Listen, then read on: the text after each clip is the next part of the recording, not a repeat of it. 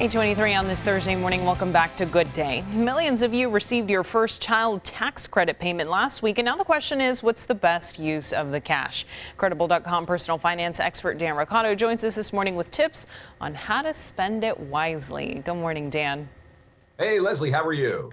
I'm doing swell. So, Dan, let's talk about, of course, um, you know, this child tax credit. A lot of families out there really needed this money, and and so rightfully so. How should they prioritize it?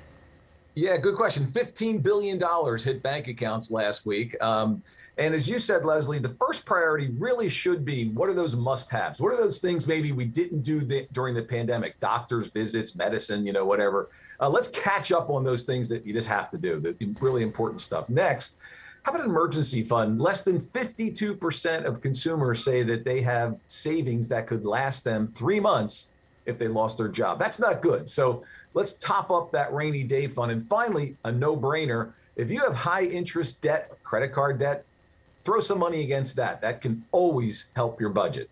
Yeah, I especially like that you mentioned that emergency fund, especially, you know, we're seeing COVID 19 numbers rising here in our area.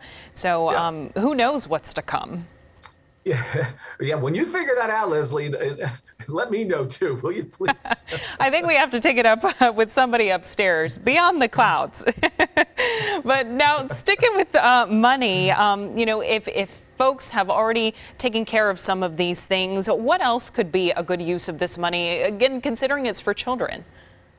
That's a really good question because there are some families that are just, you know, they're fortunate enough, they just don't need these funds immediately. So here's what I want you to do put it aside, save it for college. I have four kids, Leslie, as you know. Believe me, it's never enough. So the more you save for college, the better. Maybe take some of it and put it aside for a down payment on a home someday. If you're already in a home and you're the last person on the planet who has not yet refinanced your mortgage, use it. Use this money to maybe pay some of those refinance fees.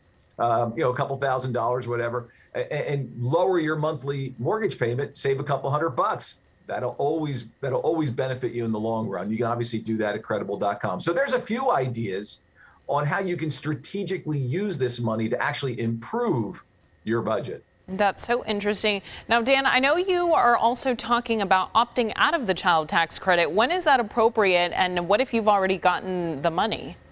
Yeah, someone's eating their mini wheats at home right now saying, Why the heck would you say no to this? Well, here's a couple of good reasons. Number one, if your income changed a lot this year, went up, you had a large gain for whatever reason, you may want to opt out because you may wind up owing tax dollars next year.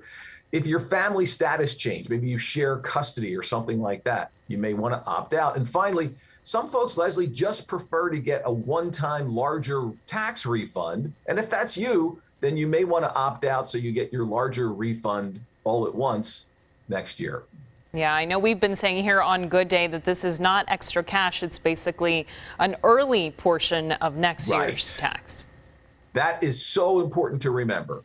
Yeah. All right. Well, as always, we appreciate your money advice here on Good Day. Dan, thanks for joining us. Thanks, Leslie. Take care. You too.